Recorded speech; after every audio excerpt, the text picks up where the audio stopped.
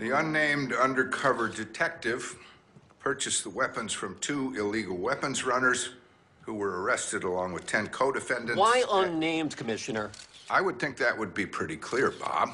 The term undercover seems to suggest that.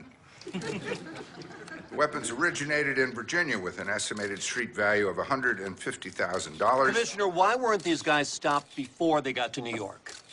Because they're not breaking the law until they arrive here and try to sell them on the street. I want to know why I can't get justice for my daughter. Excuse me? I, I think you have to be more specific. My daughter was murdered, Oh, I'm sorry. and her killer is still out there, and you don't care. And your name? Betty Lowe. Commissioner, I wrote letters to you. You ignored me. I want to know why I can't get justice daughter.